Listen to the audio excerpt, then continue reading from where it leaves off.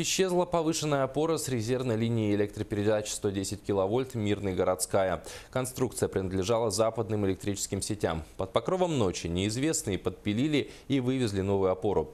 По словам энергетиков, подобные случаи не единичны. Весной этого года были спилены на дрова уже установленные опоры. Из-за действий злоумышленников остались без резервной линии жители Зарита, Сюряха, Дорожного и Северной Нуи. Подробности далее. На этом месте должна была появиться новая анкерная опора линии электропередач. Все было подготовлено, оставалось только поднять конструкцию. Но случилось ЧП. Во вторник утром работники западных электрических сетей обнаружили, что деревянная опора исчезла.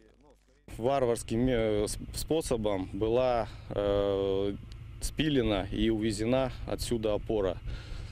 Благодаря этому, значит, сейчас у нас такие населенные пункты, как э, Заря, Тасюрях, Дорожный, Северная Нюя остаются на одном источнике питания. В результате минимум на неделю сдвинуты ремонтно-восстановительные работы. Кому понадобились столбы, по словам энергетиков, качественный лесоматериал мог пригодиться и для топки, и для строительства дома. Ущерб оценили в 200 тысяч рублей. А в настоящее время полицейские устанавливают обстоятельства произошедшего. Августа Степанова, Артур Голиков, телеканал «Алмазный край».